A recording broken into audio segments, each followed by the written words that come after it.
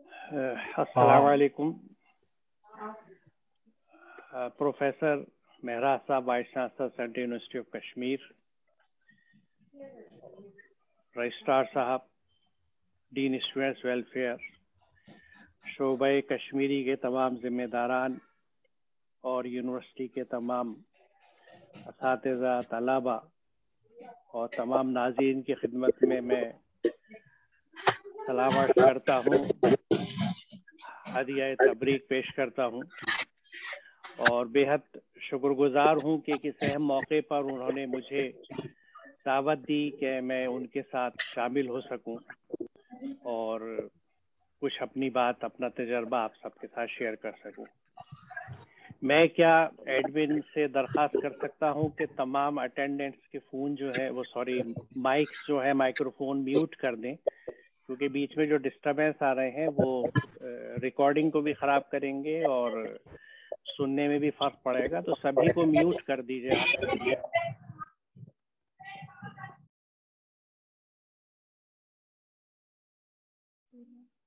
जी तो जजाकल्ला मेरे ख्याल से आप सब म्यूट हैं तो मेरी आवाज़ सबको साफ़ सुन पाएगी।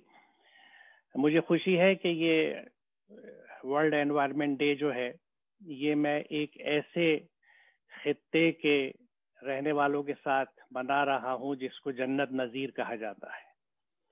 जिसको ज़मीन पे जन्नत कहा जाता है। और उसके लिए सबसे अहम तस्वुर जो है, जन्नत का या कश्मीर का, वहाँ के सरसब्ज व शादाब मैदान है, हरियाली है, दरख्त हैं, और ऊँचे ऊँचे पहाड़ हैं, जिन पे हमें बर्फ़ नज़र आती है। और वो साफ़ पानी के झरने हैं, आबशार हैं और वो साफ़ ठंडी हवाएँ हैं जो न सिर्फ़ मिजाज को बहाल कर देती है, बल्कि सेहत को भी बहाल और बशाश रखती हैं। ये तमाम वो चीज़ें हैं जो हमारे माहौल के अज्जा हैं, जो एक दूसरे को मुतासर करते हैं और जिस पे बहुत कुछ मुनसर करता है हम सबका, इस पूरी कायनात का। अगर आप दरख्त को देखें तो यकीनन उससे हमें साया मिलता है, ठंडी हवा मिलती है, फल मिलता है, सूखे हुए पत्ते ईंधन के तौर पर इस्तेमाल किए जाते हैं, लकड़ी भी मिलती है। लेकिन अगर उसको आप गौर से देखें तो उस पर चिड़िया और परिंदे नज़र आएँगे जो उस पर बैठते हैं, बसेरा करते हैं। और पास से देखें तो उसके स्टेम के ऊपर तने के ऊपर छोटे छोटे कीड़े चींटे चीटियाँ चलती दिखेंगी जो उससे कुछ फ़ायदा उठाती हैं। और नज़दीक से देखें तो तितलियाँ हैं छोटे छोटे भुनगे हैं मैगट्स हैं जो पता नहीं उस दरख्त के साथ किस तरह के रिश्ते रखते हैं। अलगर्ज मैं एक साइंस का तालिब होने, होने के नाते ये बात अगर आपसे कहूँ कि सैकड़ों तरह की ज़िंदा अजसाम जानवर भी, जानदार भी और नन्हे पौधे माइक्रो ऑर्गेनिजम्स भी एक दरख्त से जुड़े हुए होते हैं। जब उस दरख्त को हम काट देते हैं तो आप ये समझिए कि सिर्फ़ एक दरख्त नहीं कटा बल्कि सैकड़ों जानदार, बेघर हो गए, बेआसरा हो गए, उनके लिए रिस्क का इंतज़ाम जो अल्लाह ताला ने जारी किया था, ख़त्म हो गया, क्योंकि हमने अपनी ज़रूरत के लिए एक मदाखलत करी। और ये मैं सिर्फ़ एक दरख्त की बात कर रहा हूँ। अगर आप दीगर हरियाली को देखें और उससे ज़मीन के रिश्ते को देखें तो अगर आप कहीं सी ऐसे मैदान में चले जाएँ जहाँ पे कोई हरियाली ना हो, सिर्फ़ मिट्टी हो तो वहाँ थोड़ी सी भी तेज़ हवा चले तो वो मिट्टी उड़ती है। इसको सॉइल इरोजन कहते हैं, मिट्टी का कटाव। ये हवा से भी होता है। ऐसी मिट्टी पे अगर पानी गिरता है तो वो मिट्टी बह जाती है। इसको वाटर इरोजन कहते हैं कि पानी से मिट्टी का कटना। ये मिट्टी ज़मीन से बह जाती है, जिस नदी नाले में जाती है, उसकी तह में बैठ के उसकी वाटर होल्डिंग कैपेसिटी कम कर देती है। उसमें पानी को पकड़ने की कैपेसिटी सलाहियत कम हो जाती है। लेकिन इसी मिट्टी पे अगर पेड़ पौधे हैं, हरियाली है, घास है तो कितनी भी हवा चले मिट्टी कटती नहीं। कितनी भी बारिश हो, पानी बहता नहीं, क्योंकि वो जड़ें जो है उस पानी को जज्ब कर लेती और पानी के जज्ब करने का ये निज़ाम ऐसा है कि यही पानी जज्ब होता है ज़मीन में तो नीचे जाके पानी की वो सोते बनाता है, जिससे हमारे कुओं में पानी आता है, हमारे चश्मों में पानी आता है। और पौधे इसी पानी को जज्ब करके एब्जॉर्ब करके जब ट्रांसपीरेशन के प्रोसेस से हवा में छोड़ते हैं, यानी जो पत्तियाँ होती है पौधों की, उनमें सुराख होते हैं बारीक बारीक जिनसे हवा में पानी उड़ता है। तो ये पानी वापस वो हवा में भेजते हैं, जिससे बादल बनते हैं, बादल से फिर बारिश आती है, बारिश ज़मीन पे आती है। गोया एक पूरा पानी का एक साइकिल है। तो ये मैंने दो तीन मिसालें इसलिए दी कि इस ज़मीन पे हमारे चारों तरफ़ जो भी हमें चीज़ें नज़र आती हैं, उनका हमसे और हर जानदार से एक गहरा ताल्लुक है। और इन चीज़ों की तफसील में अगर आप जाए तो वो बेनतहा है। यानी अगर आप ये लिस्ट बनाने बैठ जाएँ कि वो क्या क्या चीज़ें हैं जिनसे हम लोग इस्तेफादा करते हैं तो वो बेनतहा हमें नज़र आएँगी कि जिनसे हम मुस्तफ़ होते हैं। तो मैं अपना पावर पॉइंट प्रेजेंटेशन शुरू करता हूँ इस गुफ्तु के साथ, और मौजू जैसा है हमारा आज का कुरान और माहौलियात है। इसमें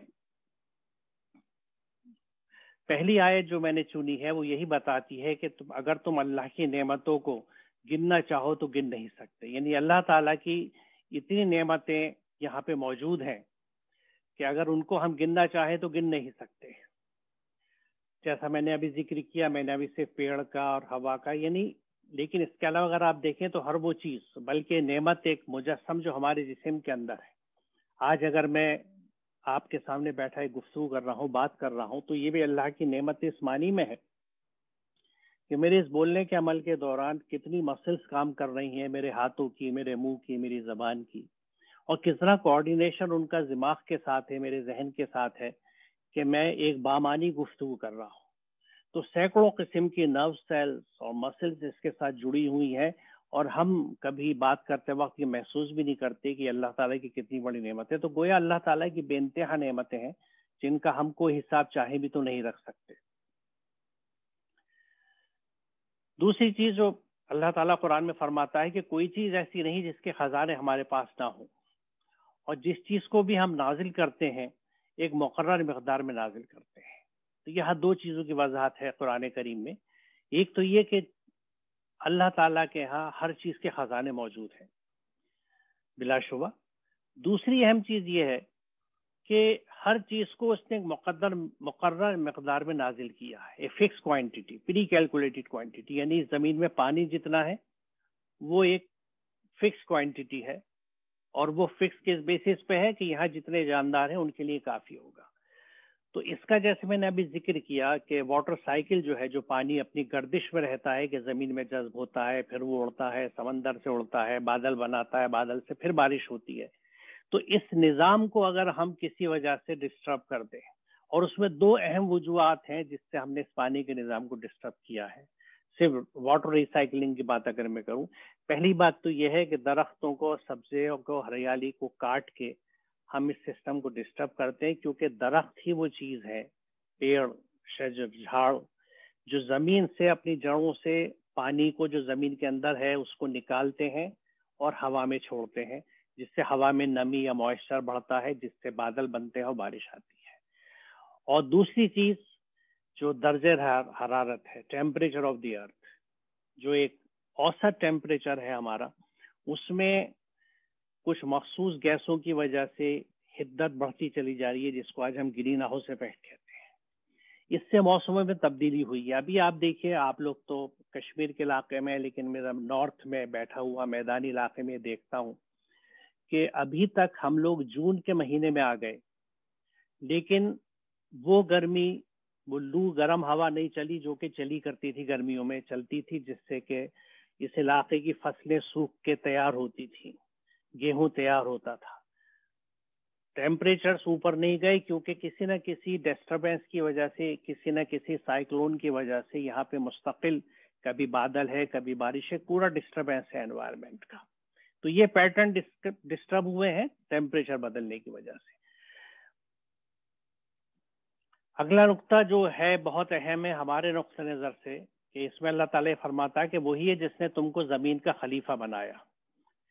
और तुम में से बास को बास के मुकाबले में ज़्यादा बुलंद दर्जे दिए ताकि जो कुछ तुमको दिया है उसमें तुम्हारी आजमाइश करे। तो यहाँ the role of human beings on this planet is defined very clearly कि हम लोग जो है we are the custodians the vicegerent of the resources of the earth तो देखिए, पहला नुकता ये था जिसको हम तवज्जो देंगे कि अल्लाह ताला की नेमतें बेशुमार है जिनको हम गिन नहीं सकते। और इन तमाम नेमतों का खलीफा, कस्टोडियन, अमीन, वाइस जेरेंट इंसान को बनाया गया है। अब जब आप किसी को खलीफा या जिम्मेदार बनाते हैं तो उसकी ज़िम्मेदारी ये है कि उसके तहत जो भी चीज़ें अमानत में दी गई है, उसकी खिलाफत में दी गई है, उनकी वो हिफाजत करे। और इस तरह हिफाजत करे कि उसके बाद आने वाली नस्लों तक उस चीज़ को खैरियत से हम पहुँचा दें तो इस कायनात में जितने रिसोर्सेज हैं, चाहे वो जानदार रिसोर्सेज हो या बेजान रिसोर्सेज हो, ये हमारी ज़िम्मेदारी है बतौर इंसान के, कि हम उनकी हिफाजत करें और अगली नस्लों के लिए उनको महफूज रखें। यानी उनका इस्तेमाल जो है, वो जुडिशियस हो, हदूद के अंदर हो, हदूद से बाहर ना हो। और अगर जो लोग कुरान को समझ के पढ़ते हैं, वो इस बारे में जानते हैं कि इस सिलसिले में कुरान की इतनी वाज है, हिदायत है, इतनी क्लियर कट इंस्ट्रक्शन हैं, जो हमें हर चीज़ के सिलसिले में मददगार रहती है। दूसरा हिस्सा इसमें बड़ा अहम इस आयत का कि अल्लाह ताला ये कहता है कि तुम में से बास को बास के मुकाबले में अल्लाह ताला ने ज़्यादा दिया है। बुलंद दर्जे दिए है किसी भी फॉर्म में। किसी को माल ज़्यादा दिया है, किसी को पावर ज़्यादा दी है, किसी को ताकत ज़्यादा दी है, किसी को ज़मीन ज़्यादा दी है। तो जिसके बाद जो कुछ है वो उसके लिए एक आजमाइश के तौर पे है। यानी अगर मेरे पास आज अगर माल ज़्यादा है तो इसलिए नहीं है। क्योंकि उसमें आजमाइश किस चीज़ की है कि मैं उस माल को किस अंदाज से इस्तेमाल करता हूँ? मैं उस माल से सारा अपने ऊपर खर्च करता हूँ या उसमें से दूसरों का हिस्सा भी है?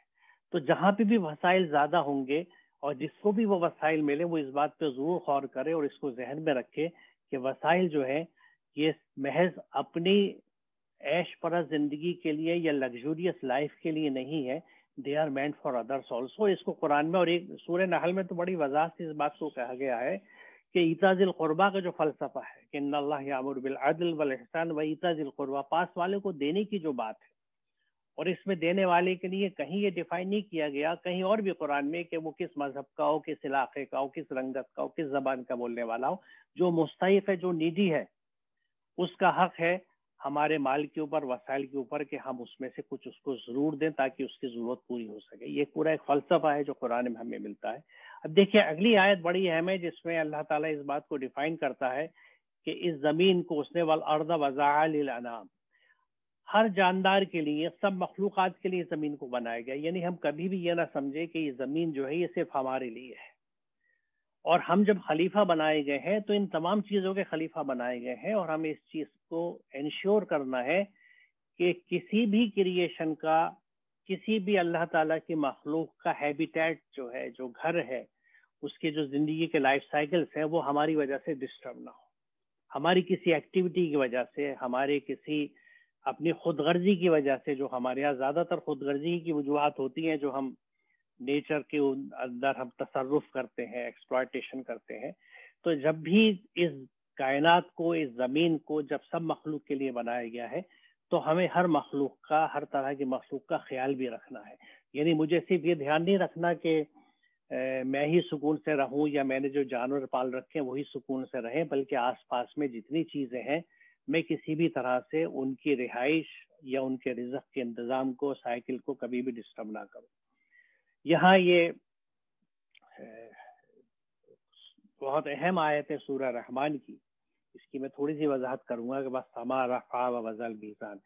देखिए, समा लफ्ज जो है अरबी का, वो बुलंदी के लिए इस्तेमाल होता है। और किसी भी बुलंदी को, कोई जो पस्ती है, उसको अर्थ कहा जाता है और उसके मुकाबले में कोई भी जो बुलंदी है, वो समा कहलाता है। यानी एक तरह से हम देखें तो जिस कमरे में अगर हम बैठे तो उसकी जो ज़मीन है वो अर्ध है और जो उसकी छत है वो समा है। तो हर बुलंदी के लिए समा का लफ्ज इस्तेमाल होता है। तो यहाँ पे हमारे चारों तरफ़ जो फजा है, जो एटमोसफियर है, जिसमें मुख्तलिफ़ गैसें हैं, आप उस तो उस नुकता नज़र से, उस इल्मी अंदाज से अगर इस कुरान की आयत को समझें तो अल्लाह ताला ये कहता है कि we have raise the atmosphere हमने तुम्हारी फजा को बुलंद किया और उसके बीच में एक तोज़ुन कायम कर दिया वजाल मीज़ान। और वो बैलेंस आज हम जानते हैं कि जब एकदम माहौल साफ़ सुथरा था तो जो हमारा एटमोसफियर है, उसमें oxygen nitrogen carbon dioxide carbon monoxide और थोड़े थोड़े जो नाइट्रोजन और सल्फ़र के ऑक्साइड्स और दीगर गैसेस होती हैं, जिनको हम इनर्ट गैसेस कहते हैं, उनका एक बेहतरीन तोज़ुन मौजूद था। और ये तोज़ुन जब तक इंटैक्ट रहा तो हर जगह की हवा उतनी ही फरहत बख्श थी सुकून देने वाली थी जैसी आपके यहाँ की हवा है, जब कभी हम थोड़ा आबादी से दूर के इलाकों में आपके यहाँ भी जाते हैं कश्मीर में, क्योंकि श्रीनगर भी बिल्कुल आबादी की वजह से एक शहर सा बन गया है, जहाँ पॉल्यूशन है, जहाँ हमें धुएँ की बू आती है या लकड़ी के जलने की बू आती है, लेकिन जब आप श्रीनगर से बाहर निकलते हैं, यानी हकीकत यह है कि हम ये कह सकते हैं कि जहाँ जहाँ इंसान के कदम गए हैं और उसने अपनी तरक्कीों को साथ लेके गया है ह्यूमन डेवलपमेंट जहाँ जहाँ गए हैं, वहाँ पे आपको नेचर के साथ फसाद मिलेगा। लेकिन जैसे ही आप उन इलाकों से निकलते हैं जहाँ ह्यूमन डेवलपमेंट पहुँचे हैं, जहाँ आबादियाँ पहुँची है, इंडस्ट्रीज़ पहुँची है तो आपको एकदम हवा का रंग भी बदला हुआ दिखेगा, आसमान का रंग भी तब्दील मिलेगा, नीला आसमान आपको नज़र आएगा, जो शहरों में आपको नज़र नहीं आता। पानी भी उतना शफाफ दिखेगा कि अगर छोटा तालाब है तो उसकी तह आपको नज़र आएगी। साफ़ पानी होगा, जिसको पीने में भी एक जायका होगा। तो अल्लाह ताला इस आयत में बताता है कि उसने आसमान को बुलंद करके एक तवाजुन कायम कर दिया और इस तवाजुन में डिस्टर्ब हम ना करें, उसकी इसमें बिल्कुल हुक्म है कुरान का कि अल्लाह तदौफिल मीज़ान भी है कि यानी किसी गैस को या किसी कंपोनेंट को बढ़ा के इजाफा भी मत करो। और वाला तकसरुल मीज़ान भी है कि किसी चीज़ को कम भी मत करो।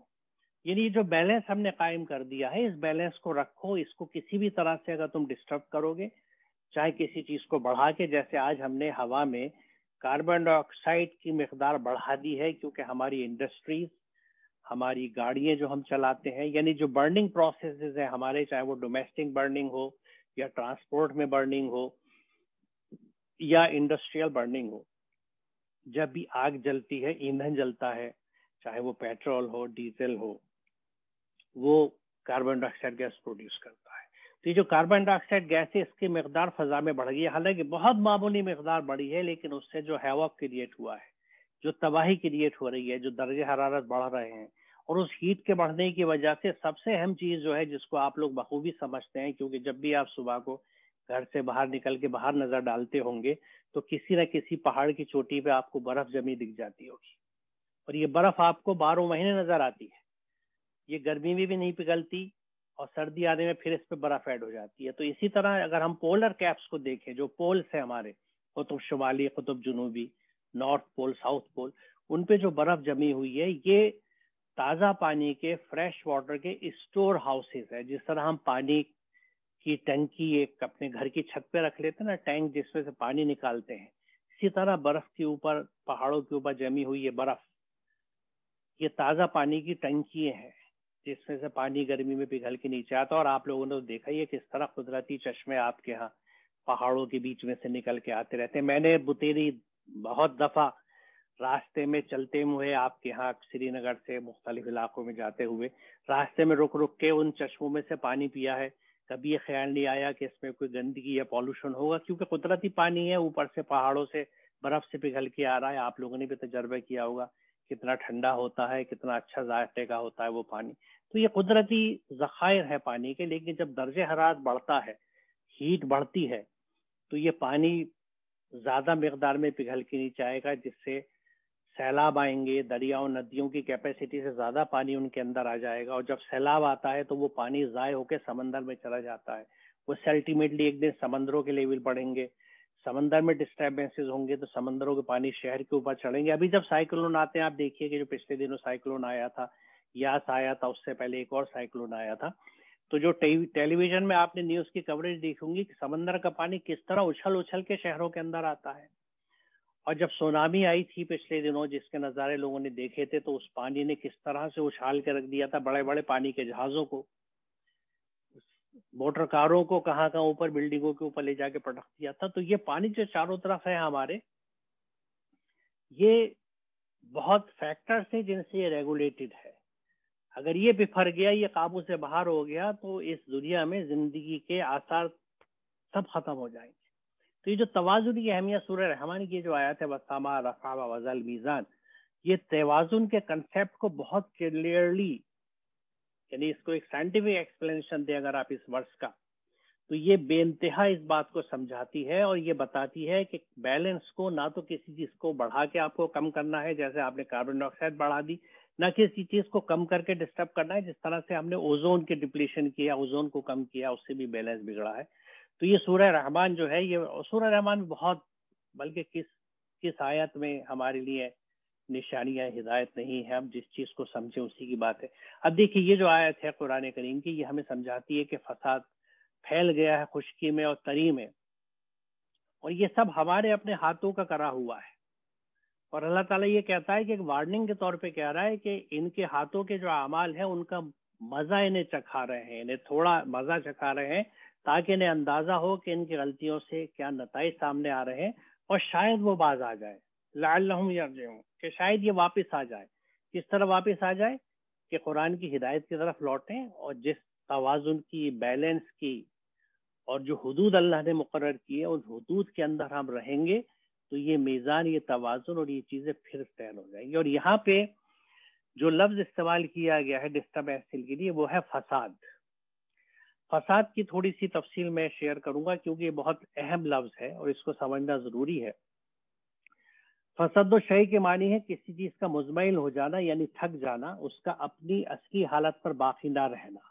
यानी उसका जो ओरिजिनल कॉन्स्टिट्यूशन है, वो चेंज हो जाए। जैसे सड़ा हुआ गोश्त होता है लहम फासिद यानी जो गोश्त सड़ जाता है, उस गोश्त को कहते हैं, जो गल के, सड़ के बदबूदार हो गया और किसी काम का ना रहा हो। फसाद दर हकीकत सलाह की जिद है। सलाह के मानी है, हालात का मुस्तकीम व मतवाजन रहना। लिहाजा फसाद के मानी है तोज़ुन का बिगड़ जाना, बेतरतीबी यानी डिसऑर्डर पैदा हो जाना, ये मुहित, ताज और लेन से एब्स्ट्रैक्ट है एक्सट्रैक्ट किया गया है। तो ये जो फसाद का लफ्ज कुरान में आया है, जिसके रूट वर्ड्स फे, सीन, दाल है, इसमें ये बहुत एनकम्पासिंग वर्ड है। इसमें बहुत कुछ आता है, हर तरह की इनक्वलिटी डिस्टर्बेंस डिसऑर्डर और करप्शन हर चीज़ फसाद के अंदर आती है और इसीलिए कुरान में ये हुक्म है हमको कि हम फसाद ना फैलाएँ। अल्लाह ताला मना करता है कि कुरान करीम ने मुफसदीन के मुकाबले में मुस्लिम का लफ्ज इस्तेमाल किया। यानी एक तरफ़ हमें फसाद फैलाने के लिए मना किया जा रहा है, दूसरे दो कैटेगरीज लोगों के कुरान बयान करता है, मुफसदीन और मुस्लिम मुफसदीन वो है जो फसाद फैलाते हैं और मुस्लिम वो हैं जो इसलाह का काम करते हैं, उस फसाद को ठीक करने का काम करते हैं। और इस आयत में यही कंट्रास्ट दिखाया गया है मुफसदीन और मुस्लिम का। अमूमन जो लोग फसाद फैलाने वाले होते हैं, वो अपने आप को मुफसद या तो समझते नहीं है या इस बात को कबूल करना नहीं चाहते कि वो फसाद फैला रहे हैं। वो तो ये कहते हैं, नहीं नहीं, हम तो सुधार ही कर रहे हैं। हम तो मुस्लिम में ऐसा हम तो कोई खराबी थोड़ी कर रहे हैं। हमारा मकसद तो अच्छा ही करना है, इसको ज़िंदगी में मकसद अपने चारों तरफ़ देखते हैं। और ये अल्लाह ताला का वाजा हुक्म है कि वला तुफसिदो फिलारती बादी इसलाहिया, जालिकुम खैरुल लकुम इन कुंतुम मुमिनीन। कि ज़मीन में फसाद बर्पा ना करो जबकि असलाह हो चुकी। यानी किसी भी तरह का डिसऑर्डर आप यहाँ पैदा ना करें और इसी में तुम्हारी भलाई है, अगर तुम वाकई मोमिन इनकुन तुम मोमिन अगर तुम मोमिन हो, ईमान वाले हो, ईमान रखते हो तो किसी तरह का फसाद ना फैलाओ। अब देखिए, यहाँ पे मैं इस बात पे थोड़ा सा आगे आऊँगा। ज़्यादा वक्त नहीं लूँगा आपका, लेकिन थोड़ी सी ये वजाहत की ज़रूरत है कि यहाँ पे ये अल्लाह ताला का हुक्म है, ये हुक्म का सिगा है जो हमें कहता है, वला तफसद फ़िलहाल ज़मीन पे फसाद ना फैलाओ। ये अल्लाह का हुक्म है। और अगर हम किसी भी अंदाज का फसाद फैलाते हैं तो हम हुक्म दूली कर रहे हैं। अल्लाह के हुक्म पे नहीं चल रहे हैं। देखिए, इस वक्त वक्त नहीं है कि मैं फसाद की या एनवायरनमेंट की तमाम आस्पेक्ट पे जाऊँ। थोड़ा सा उस डिफरेंट आस्पेक्ट का ज़िक्र अभी डॉक्टर नजीर साहब ने अपनी गुफ्तगु में अपनी पेशकश में किया था तो फसाद भी बहुत तरह का है। फसाद जबान से भी है। जब हम खराब बोलते हैं तो वह फसाद फैलता है। जब हम किसी को बुरा कहते हैं, हम किसी की तजलील करते हैं, ये भी फसाद होता है। तो फसाद जबान का भी है, फसाद अमल से भी होता है, फसाद माल से भी होता है। तो फसाद ये माहौल और कायनात का भी है, जिस वक्त इस वक्त हमारा फोकस है। लेकिन फसाद और माहौल के तमाम एस्पेक्ट्स पे मेरा एक बहुत डेटेड लेक्चर है जो मेरे यूट्यूब चैनल पे मौजूद है, वो मैंने जामिया मिलिया, इस्लामिया में दिया था टीचर एजुकेशन डिपार्टमेंट के एनुअल प्रोग्राम में। उसमें सब एस्पेक्ट्स को मैंने एनवायरनमेंट की कवर किया इसलिए थोड़ा लंबा लेक्चर हो गया है वो। लेकिन ये अल्लाह का हुक्म है, हमें ख्याल रखना चाहिए, क्योंकि देखिए हमारे साथ बड़ी ट्रेजिडी ये है, मैं उस पर आखिर में थोड़ी सी गुफ्तु करूँगा, कि कुरान किताब, हिदायतें हम सब मानते हैं। कुरान इंसानों के लिए है, अल्लाह का पैगाम हम सब मानते हैं। लेकिन मुझे माफ़ करें, मैं ये जसारत कर रहा हूँ पूछने की कि हम में से कितने लोग हैं जो कुरान को समझते हैं। यह इस प्रोग्राम के शुरू में जो एक बच्ची ने किरत करी थी कुरान की हमें से कितने लोगों ने समझा कि अल्लाह ने क्या कहा? और अगर नहीं समझा तो किसी ने तर्जुमा भी नहीं पढ़ा। इस खाकसार और अहकर के नज़दीक ये कुरान की तोहीन है। कि एक तरफ़ हम अल्लाह के कलाम को बहुत इज़्ज़त दें, उस घर में उस किताब को बड़े अच्छे जुजदान में लपेट के बहुत ऊपर रखें कि बेइज्जती ना हो। दूसरी तरफ़ आमलन हम इस तरह बेइज्जती करते हैं कि उसको थोड़ी देर के लिए भी पढ़ते हैं रस्मन। तो ये जानने की कोशिश नहीं करते कि इसमें क्या कह दिया गया। इज़ इट जस्टिस क्या ये इंसाफ है? क्या ये हम हक अदा कर रहे हैं कुरान के साथ? और यकीनन हम नहीं कर रहे और आज हमारी जो जुबू हाली है, जो हमारी हालत है दुनिया के इस कोने से लेके उस कोने तक प्लेनेट के इस किनारे से उस किनारे तो उसकी वाहिद वजह यही है कि we have deserted the Quran हमने कुरान को छोड़ दिया है। कुरान में से हमने कुछ अहकाम लिए हैं। देखिए, यहाँ भी एक अल्लाह के हुक्म का ज़िक्र मैं कर रहा हूँ कि वला तफसद फ़िलहाल कि फसाद मत फैलाओ ज़मीन पे। हमने कुरान में से जो अहकाम चुने हैं, उनको हम इबादत के तौर पे अमल करते हैं, कि पंज वक्त नमाज़ पढ़ते हैं, रोज़ा रखते हैं, जक़ात देते हैं, हज करते हैं। कुरान के अहकाम को हमने चुन लिया है कि अकीम सलात जक़ाता कुतिब अलैकुम मैं इसको साढ़े तीन आयतों का इस्लाम कहता हूँ। क्योंकि ये साढ़े तीन आयतें अहाता कर लेती हैं सब चीज़ों का, उम्र को मिला के ये सब चीज़ें। इसके अलावा कुरान की क्या अहकाम है? कहाँ किसने सनत दे दी कि उनकी आप परवाह ना करो? कुरान का इतना बड़ा हुक्म है, वाहसिनू, एहसान करो, डू गुड टू अदर्स। हमारे यहाँ उसका खाना नहीं है और अगर है भी तो इसको हम इबादत नहीं मानते।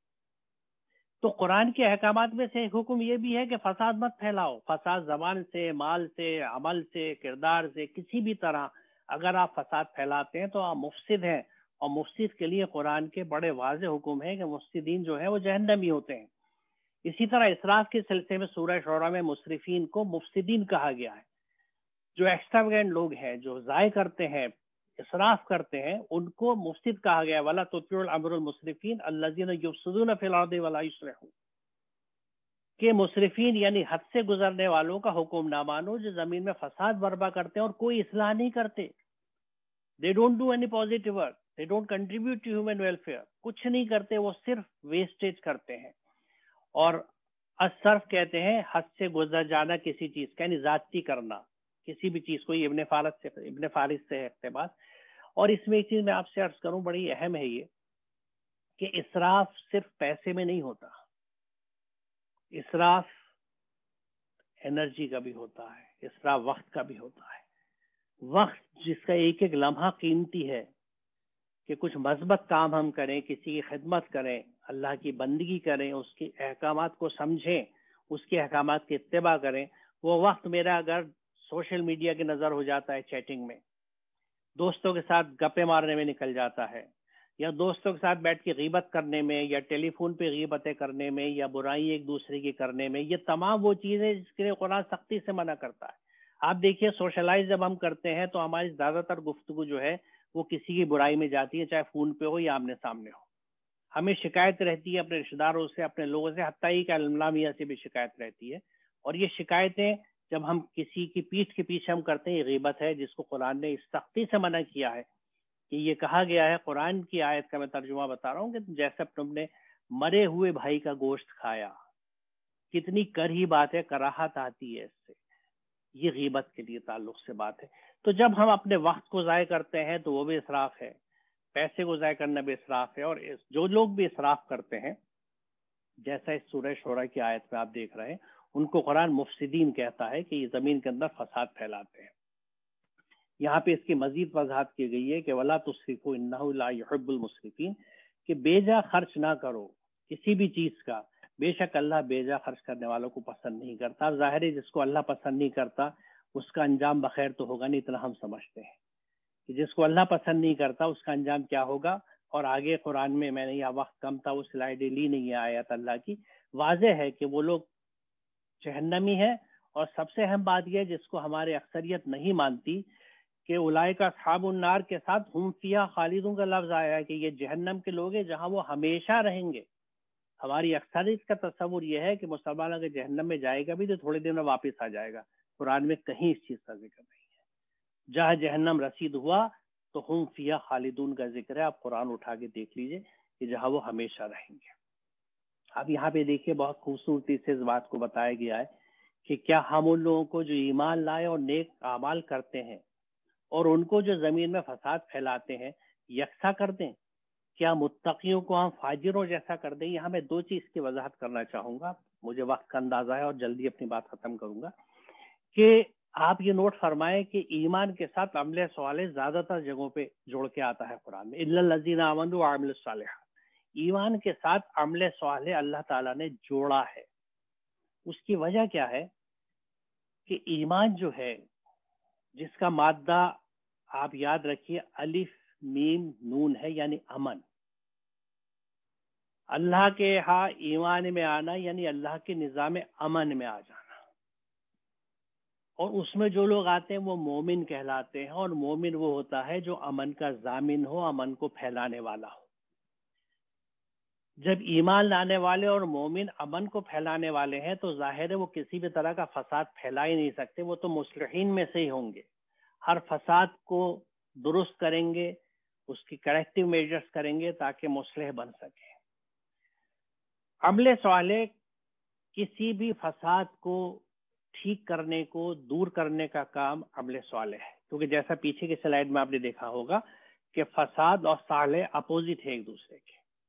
अमले सवाल है, वो तमाम अमल all those acts and corrective measures which undo any disorder inequality imbalance और करप्शन जो खराबियाँ ज़मीन पे लोग फैलाते हैं, फसादी फैलाते हैं, उनको दुरुस्त करना अमले सवाल है। यहाँ ये नोट करने के यहाँ ज़िक्र सवाली की बात नहीं है, क्योंकि हमारे ज़िक्र पे ज़्यादा ज़ोर होता है। मैं उसकी अहमियत पे यहाँ गुफ्तु नहीं करूँगा, वो एक अलग मौजू है। लेकिन हमारा ज़ोर ज़िक्र पे है। हाथ पर है।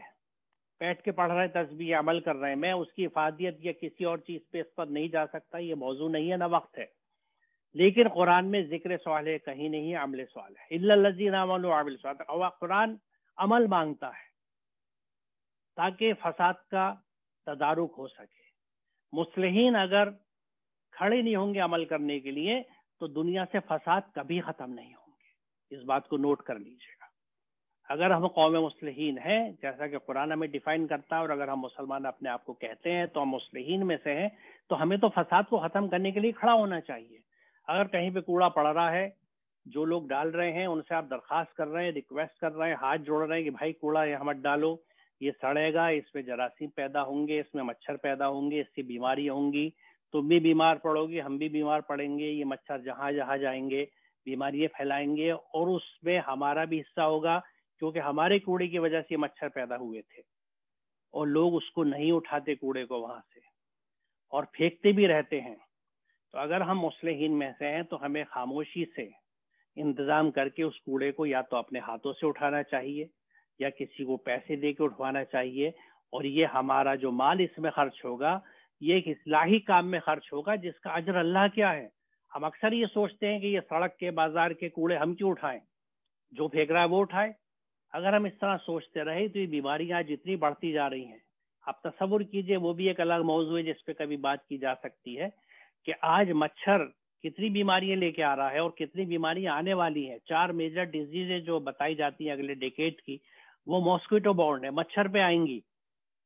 और हलाकत खेज बीमारी है तो मच्छर अगर आज हम अपने चारों तरफ़ पैदा होने दे रहे हैं। ये भी एक फसाद है, ये भी माहौल की बर्बादी है। तो ये सब चीज़ें अगर एक सोचने वाला और खुला जहन हो और सालह जहन हो, जो मस्बत सोच रखता हो, जो इंसानी हमदर्दी की सोच रखता हो तो हर तरह के फसाद पे तवज्जो देगा और उसकी सुधार की कोशिश करेगा। दूसरा लफ्ज जो इसमें है आखिर में शायद में कि क्या मुत्तकियों को हम फाजिरों जैसा कर दें। मुत्तकी लफ्ज बना है तकवे से। तकवा क्या है कि अल्लाह के हर हुक्म पे अमल करना और जिस चीज़ से मना किया है, वो ना करना, ये तकवा है। ये जुड़ने के मानी में आता है कि जो अल्लाह से जुड़ जाए। और फुज्जार जो है, वो फटने के लिए आता है, जो फट के अलग हो जाए। फजर इसलिए कह देंगे जहाँ रोशनी अंधेरे से फट के अलग हो गई। तो फुज्जार वो है जो एक तरह से प्रेसिपिटेटेड दे है आउट फ्रॉम एवरीथिंग गुड हर अच्छी चीज़ से वो फट के अलग हो गए एकदम। तो वो फुज्जार है। मुत्तकी हर अल्लाह के हुक्म से जुड़ा हुआ है। तो इतनी बेहतरीन ये, देखिए, अगर समझे कुरान को तो ये आप यकीन जाने, एक चस्का, एक नशा है। You enjoy it once you understand it और मैं तो एक उस्ताद रहा हूँ, बल्कि तालब इल्म हूँ। आप में से जो लोग दरस व तदरीस से जुड़े हुए हैं, और आप अपनी याद कीजिए स्टूडेंट लाइफ को, कि किसी चीज़ को पढ़ते में अगर उसकी कंसेप्ट आपको समझ में आ जाती है तो आप उसे कितना एंजॉय करते हैं? लेकिन रट के कोई चीज़ समझ में नहीं आती है। अगर आप उसको समझ लेते हैं उस कंसेप्ट को तो फिर आप उसे एंजॉय करते हैं then you play with it उसके साथ आप यानी चेंज कर सकते हैं अपने आप को। सॉरी ये कुछ मैसेज आ रहा था जो मुझे देखना पड़ा। एनीवे anyway, तो अब देखिए मैं तीन आयतें आखिर में रख रहा हूँ फिर अपनी बात खत्म कर रहा हूँ कि ये सब चीज़ें जो है इसके साथ साथ एक बड़ी अहम चीज़ ये है कि हम इस बात को समझ लें कि कुरान हम पे फ़र्ज़ है। ये सूर्य कसस की आयत नंबर पिचासी इन लजी फरज कल कुरान अलाद कि बेशक वो हस्ती जिसने तुझ पे कुरान फ़र्ज़ किया है। तुझे गंजाब को ले जाने वाली है। अगर हम समझते हैं और मानते हैं इस बात को कुरान हम पे फ़र्ज़ है तो कुरान के हर हुक्म को मानना है। आज हमने कुरान को एनवायरनमेंट के एस्पेक्ट में देखा है। कुरान के एस्पेक्ट हमें तालीम के, बल्कि हमारी ज़िंदगी के हर शोबे की हिदायत कुरान में मौजूद है। अगर हम कुरान को फ़र्ज़ माने और उसको समझ के पढ़ेंगे तो बिल्कुल मंजरनामा दूसरा होगा। दूसरी आयत इसी चीज़ की वजाहत करती है कि तब को वला तब दूनी इतबा करो, फॉलो करो जो तुम्हारी रब की तरफ़ से नाजिल किया गया है। Follow what has been reveal to you from your sustainer. वला तत्ताबिन दुनी और औलिया, किसी और औलिया की इतबा नहीं करनी, किसी और सिस्टम की, आइडियोलॉजी की। You don't have to follow anything else other than what has been reveal to you from your sustainer. जो अल्लाह की तरफ़ से किताब नाजिल की गई है, सिर्फ़ और सिर्फ़ उसी का इत्तेबा करना है। ये सूर्य आराफ की आयत नंबर तीन बिल्कुल क्लियरली हमें बताती है। और तीसरी चीज़ मैं ये अर्ज़ करूँगा कि हर नमाज़ में हम दुआ मांगते हैं कि दिन असरात या अल्लाह में सीधा रास्ता दिखा दे। सूर्य अनाम में जवाब मौजूद है कि वन्ना हाजा सरात मुस्तकीम फतब यही मेरा सीधा रास्ता है। बस इसकी इतबा करो फॉलो इट तो ये तीन आयतें मैंने आखिर में इसलिए रखी हैं कि मुझे अफसोस ये होता है कि इन तीनों आयतों के होते हुए भी हमारी अक्सरियत कुरान को ना समझ के पढ़ती है, ना उस पर अमल करती है। कुरान फ़र्ज़ है, हमें नहीं पता उसमें लिखा हुआ क्या है। हमने कुछ अहकाम कुरान के चुन लिए हैं और उस पर अमल करके हमें इस गलत फहमी में मुब्तला कर दिया गया है कि हम जन्नती हैं। हम जब तक कुरान को पूरी तरह समझेंगे नहीं, उस पर अमल नहीं करेंगे, हम ये नहीं सोच सकते कि अल्लाह ताला से मगफिरत की हम दुआ भी कर सकते हैं, क्योंकि हम उसके बागी हैं। हम उसके अहकाम को नहीं मान रहे। आप किसी सिस्टम के बागी होके, उसके सिस्टम के मालिक से, उसके आली जा से ये कहें कि तू मुझे बख्श दे और तू मुझे सबसे अच्छा नवाज़ दे। How is it possible illogical है, नामुमकिन है। बहरहाल मैं बहुत शुक्रगुजार हूँ आप सबका कि आपने अपना वक्त दिया और मैंने जो कुछ मेरा हम्बिल सबमिशन था आपके सामने पेश किया। मैं आपका बहुत शुक्रगुजार हूँ बहुत शुक्रिया वालेकुम। कोई सवाल हो अगर इजाज़त देंगे मुंतजिम तो मुझे खुशी होगी जवाब देंगे अगर uh, कोई कुछ सवाल पूछना चाहें तो please. Thank you sir thank you. आपका बहुत बहुत शुक्रिया। कहते हैं ना कि हर हो हर दिल में मोहब्बत ये मुमकिन नहीं हर सीप की आगोश में गौहर नहीं होता। हर सीप की आगोश में तो नहीं होता लेकिन हमारी इस तकरीब की आगोश में नहायत ही